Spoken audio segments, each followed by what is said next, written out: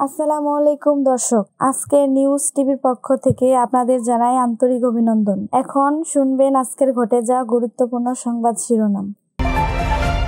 কারামুক্তির পর নৌকার প্রার্থী হলেন বিএনপি নেতা শাহজাহান উমর। যুক্তরাষ্ট্রের বেসরকারি খাত সরকারিকে পাত্তা দেয় না। জানিয়েছে পররাষ্ট্রমন্ত্রী। সাংবাদিককে মারধরের অভিযোগে আওয়ামী লীগের প্রার্থীকে কারণ দর্শানোর নোটিশ। নির্বাচনে অংশ নিচ্ছে ত্রিশ দল।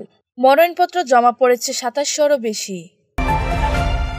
এক মিনিট দেরি, মনোনয়নপত্র জমা দেওয়া হলো না, তৃণমূল বিএনপির প্রার্থীর। শাহজাহানপুরে ছাত্রদলের বিক্ষোভ মিছিল।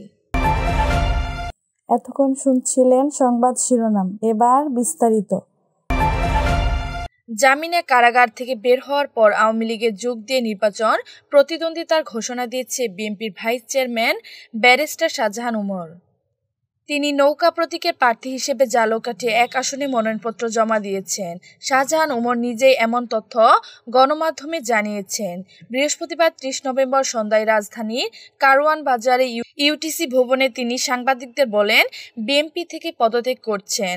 আওয়ামী লীগে যোগ দিচ্ছেন তার তারপর আজ আওয়ামী লীগ তাকে ঝালকাঠি এক আসন থেকে দলীয় মনোনয়ন দিয়েছে। তিনি অনলাইনে মনোনয়নপত্র জমা দিয়েছেন। সাবেক এ আইন প্রতিমন্ত্রী রাজধানী নিউ মার্কেট থানা এলাকায় বাসে অগ্নিসংযোগের মামলায় বুধবার উনত্রিশ নভেম্বর জামিন পেয়ে মুক্তি পেয়ে জানা যায়, বিএনপি জামায়াতের ডাকা দুই দিনে অবরোধের আগে দিন চার নভেম্বর সন্ধ্যা সোয়া সাতটার দিকে নিউ মার্কেট এলাকায় গাউসিয়া মার্কেটের পাশে মিরপুর সুপার লিঙ্ক লিমিটেডের একটি বাসে আগুন দেওয়া হয়। এই ঘটনায় বাসের চালক মামলাটি দায়ের করেন।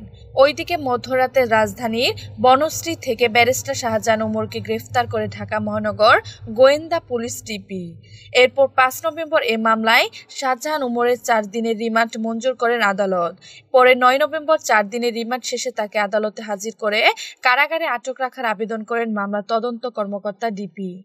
পুলিশের অবৈধ অস্ত্র উদ্ধার ও প্রতিরোধ টিমের পরিদর্শক সাইরুল ইসলাম। যুক্তরাষ্ট্রে বেসরকারি খাত সরকারিকে পাত্তা দেয় না। জানিয়েছে পররাষ্ট্রমন্ত্রী। যুক্তরাষ্ট্রের বেসরকারি খাত তাদের দেশে সরকারকে পাত্তা দেয় না। সে কারণে এখানে যুক্তরাষ্ট্রের শ্রমনীতির কোনো প্রভাব পড়বে না। আজ বৃহস্পতিবার পররাষ্ট্র মন্ত্রণালয় নিজের দপ্তরে সাংবাদিকদের প্রশ্নের জবাবে একথা বলেন পররাষ্ট্রমন্ত্রী। যুক্তরাষ্ট্রের শ্রম বিষয়ক নতুন নীতি নিয়ে দুশ্চিন্তার কারণ রয়েছে বলে সতর্ক করে বাণিজ্য মন্ত্রণালয়ের একটি চিঠি পাঠিয়েছেন। ওয়াশিংটনে বাংলাদেশ দূতাবাসের মিনিস্টার বাণিজ্য মোহাম্মদ সেলিম রেজা। ওই চিঠির বিষয়ে সাংবাদিকরা জানতে চাইলে পররাষ্ট্র স্বরাষ্ট্রমন্ত্রী আব্দুল মোমেন বলেন, এমন কি হবে না হবে আমি জানি না। তবে আমাদের বেসরকারি খাতের উপর আমার বিশ্বাস আছে এবং আমি এটা বিশ্বাস করি। আমেরিকায় সরকার বললে জিনিস বন্ধ হয় না, কারণ সেখানে বেসরকারি খাত জিনিসপত্র কেনে। তারা সরকারিকে অনেক সময় পাত্তাই দেয় না। তারা কিনে কারণ তারা জিনিসটা সস্তায় পায়। তৈরি পোশাক শিল্প ব্যক্তি মালিকানা ধীন এবং যারা কেনে তারাও ব্যক্তি মালিকানাধীন। দামে সস্তা ছাড়া ভালো মানের পণ্য সময় মতো পায় বলে যুক্তরাষ্ট্রের কোম্পানিগুলো বাংলাদেশ থেকে তৈরি পোশাক আমদানি করে বলে মন্তব্য করেছেন পররাষ্ট্রমন্ত্রী। বাংলাদেশের ওয়াশিংটন দূতাবাসের কর্মকর্তার ওই চিঠি নিয়ে তিনি বলেন, আমি শুনেছি এটা বাণিজ্য মন্ত্রণালয়ে দেওয়া হয়েছে। তারা বিষয়টি দেখছে, আমি এই বিষয়টি দেখি না। ওই চিঠি নিয়ে পররাষ্ট্রমন্ত্রী আরও বলেন, আমাদের সমস্যা হলো দেশের প্রতি ভক্তির অভাব আছে। এর জন্য অনেক গোপন নথি প্রকাশ করে দেয়া আমাদের সম্মানিত মিডিয়া। এটা দুঃখজনক, এটা অন্য দেশে হয় না। সাংবাদিককে মারধরের অভিযোগে আওয়ামী লীগের প্রার্থীকে কারণ দর্শানো নোটিশ। সাংবাদিককে মারধরের অভিযোগে চট্টগ্রাম ষোলো ভাসখালী আসনে আওয়ামী লীগের মনোনীত প্রার্থী মোস্তাফিজুর রহমানকে কারণ দর্শানোর নোটিশ দেওয়া হয়েছে। তাকে আগামীকাল শুক্রবার বেলা তিনটার মধ্যে ওই আসনের নির্বাচনী অনুসন্ধান কমিটির কাছে সশরীর অথবা প্রতিনিধির মাধ্যমে সূর্যের জবাব দিতে বলা হয়েছে। চট্টগ্রাম ষোলো আসনে নির্বাচন অনুসন্ধান কমিটির প্রধান চট্টগ্রাম জেলা যোগ্য জজ, দ্বিতীয় আদালত আবু সালিম মোহাম্মদ নোমান। আদালতের ব্রাঞ্চ সহকারী মোহাম্মদ শাহাবুদ্দিন প্রথম আলোকে তথ্যে সত্যতা নিশ্চিত করেছেন। মোহাম্মদ শাহাবুদ্দিন প্রথম আলোকে বলেন, সাংবাদিককে মারধরের ঘটনায় ইন্ডিপেন্ডেন্ট টিভির বেরু প্রধান রিটার্নিং কর্মকর্তা বরাবর অভিযোগ করেছেন। এটি নির্বাচন অনুসন্ধান কমিটির প্রধানের কাছে পাঠানো হয়েছে। এই ঘটনায় মুস্তাফিজুর রহমানকে চট্টগ্রাম ষোলো আসনে নির্বাচন অনুসন্ধান কমিটির কাছে হাজির হতে বলা হয়েছে। নির্বাচনে অংশ নিচ্ছে ত্রিশ দল। মনোনয়নপত্র জমা পড়েছে সতেরোশোর বেশি। দ্বাদশ জাতীয় সংসদ নির্বাচনে প্রতিদ্বন্দ্বিতা করতে সারা দেশে তিনশো আসনে মনোনয়নপত্র জমা দিয়েছে মোট দুই হাজার সাতশো একচল্লিশ জন। সেই হিসেবে প্রতি আসনে গড়ে নয়শো জনের বেশি প্রার্থী মনোনয়নপত্র জমা দিয়েছেন। এবারে নির্বাচনে অংশ নিতে ত্রিশটি দলের প্রার্থী মনোনয়নপত্র জমা দিয়েছেন। আজ রাতে নির্বাচন কমিশন ইসি সচিবালয়ে এসব তথ্য জানিয়েছেন। তবে কোন দলের কতজন প্রার্থী বা কোন আসনে কোন কোন দলের প্রার্থী মনোনয়নপত্র জমা দিয়েছেন, এসবের বিস্তারিত জানানো হয়েছে। দলের সংখ্যা জানালে কোন কোন দল নির্বাচনী প্রার্থী দিয়েছে, তা এখন পর্যন্ত জানায়নি ইসি। এখন নির্বাচন কমিশনে নিবন্ধিত রাজনৈতিক দল আছে চৌচল্লিশটি। এর আগে একাদশ জাতীয় সংসদ নির্বাচনে উনচল্লিশটি রাজনৈতিক দল অংশ নিয়েছেন। তখন ইসিকে নিবন্ধিত ছিল ঊনপঞ্চাশটি দল। ইসি সূত্র জানায়, প্রাথমিকভাবে ইসি সচিবালয়ে রিটার্নিং কর্মকর্তাদের কার্যালয় থেকে শুধু আসনভিত্তিক মনোনয়নপত্র জমাদানকারীদের সংখ্যা সংগ্রহ করা হয়েছে। দলভিত্তিক প্রার্থী ও স্বতন্ত্র প্রার্থীর সংখ্যার চূড়ান্ত হিসাব এখনও করেনি ইসি সচিবালয়। এক মিনিট দেরি মনোনয়নপত্র জমা দেয়া হলো না তৃণমূল বিএনপির প্রার্থী। পড়ালেখায় নবম শ্রেণির পাশ, পেশায় ছেঁড়া বস্তু ব্যবসায়ী।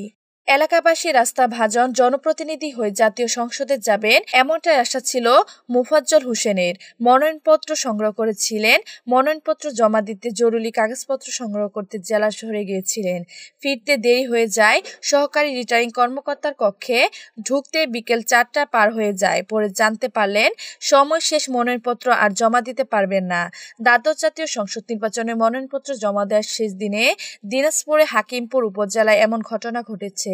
আজ বৃহস্পতিবার বিকেল চারটা এক মিনিটে সহকারী রিটার্নিং কর্মকর্তা ও হাকিমপুর উপজেলার নির্বাহী কর্মকর্তা ও রায়ের কার্যালয়ে মনোনয়নপত্র জমা দিতে যান দিনাজপুর ছয়, বিরামপুর, নবায়নগঞ্জ, ঘোড়াঘাট। হাকিমপুর তৃণমূল বিএনপি মনোনীত প্রার্থী মুফাজ্জল হোসেন দেরিতে পৌঁছায় সহকারী রিটার্নিং কর্মকর্তা তার মনোনয়নপত্র জমা দেননি। মুফাজ্জল হোসেন হাকিমপুর পুর শহরের পাঁচ নম্বর ওয়ার্ডের দক্ষিণ বাসুদেবপুর মহল্লার বাসিন্দা এক মাস আগে তিনি তৃণমূল বিএনপিতে যোগ দেন। তৃণমূল বিএনপি জেলা কমিটির সদস্য তিনি। পেশায় পুরো শহরের চুরিপন্ডি এলাকায় ছেঁড়া বস্তার ব্যবসায়ী মনোনয়নপত্র সংগ্রহের পর তিনি ফ্রম এলাকায় মিষ্টি বিতরণ করেছেন।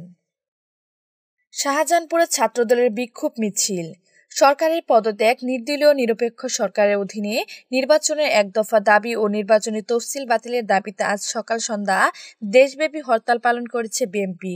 হরতালের সমর্থনে দুপুরে রাজধানী শাহজাহানপুরে মিছিল করেছেন জাতীয়তাবাদী ছাত্রদল। এতে নেতৃত্ব দেন ছাত্রদল কেন্দ্রীয় সংসদের সহ সভাপতি মা এতে নেতৃত্ব দেন ছাত্রদল কেন্দ্রীয় সদস্য সহ সভাপতি মারুফ এলাহি, রনি ও শ্যামল মালুম।